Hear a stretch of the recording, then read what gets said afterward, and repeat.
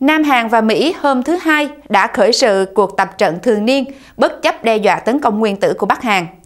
Lấy lý do là các cuộc tập trận này là để chuẩn bị cho việc xâm lăng Bắc Hàn, chế độ Bình Nhưỡng trước đây đã nhiều lần có lời đe dọa tương tự, nhưng lần này đã xảy ra sau khi có cuộc đào tị của một giới chức ngoại giao cao cấp Bắc Hàn và việc Mỹ dự trù đặt hệ thống phòng thủ chống hỏa tiễn ở Nam Hàn.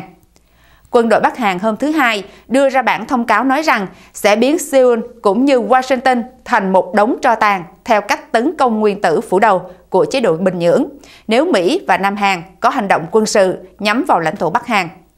Theo các cơ quan truyền thông của chế độ Bình Nhưỡng, thì các đơn vị có nhiệm vụ tấn công đã sẵn sàng để mở các cuộc tấn công trả đũa nhắm vào các đơn vị Nam Hàn và Mỹ tham gia cuộc tập trận. Bộ Thống nhất Nam Hàn cho hay là cuộc tập trận với Mỹ chỉ có tính cách phòng vệ và không quyết định tấn công vào Bắc Hàn. Cuộc tập trận mang tên Unji Freedom Guardian khởi sự hôm thứ Hai sẽ kéo dài 12 ngày với sự tham dự của khoảng 25.000 lính Mỹ và 50.000 lính Nam Hàn.